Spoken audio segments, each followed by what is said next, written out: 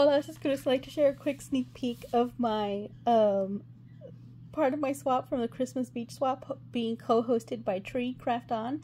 Tree, aka Craft On, and Cathy from Cathy's Creative Crafts and More.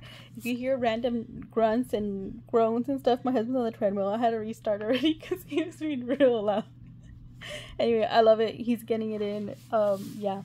So for this swap, we're supposed to create a, a, a beach tote uh, an ornament with five layers that was but not 3D, so kind of flattish.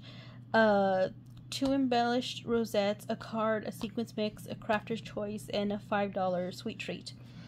Um, and so this is just a little sneak peek. This is my packaging for my um, my stuff, my bags over here. This is my sequins mix. And then just another, uh, this is my card, this is the envelope. Um, and then the card shows you the paper I used. This, I was like, I was like, yes, I'll sign up. And then I was like, oh crap, how am I gonna like merge the two, you know? And so I remembered that years ago when, um, when Tuesday morning was still a thing, and even before the the whole bankruptcy, whatever happened to them, uh, happened, I had purchased some Christmas bags that had this, you know, tropical kind of theme um, with a certain friend in mind, and I never ended up sending her like Christmas stuff or whatever. But uh, so yeah, that I used um, basically just I I think I had purchased like three of those gift bags. So that was this is my paper, and so I I pulled all the colors and everything out of here, and um, I added these. I believe I had purchased these from um, White Birch & Co.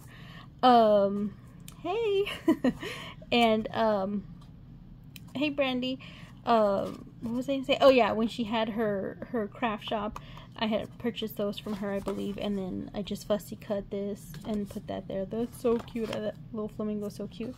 So anyway, so that you can see, you know, where I got the inspiration. There's there pinks and but it goes into reds, and there's red in the pineapple right there.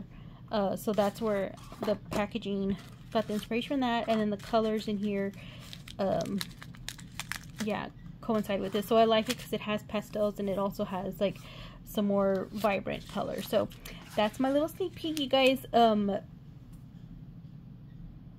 uh, i'll link down below tree and cathy. And uh, yeah go check out everyone else's sneak peeks. Uh, i can't wait to see what everybody else has created. Thank you guys so much for watching. Bye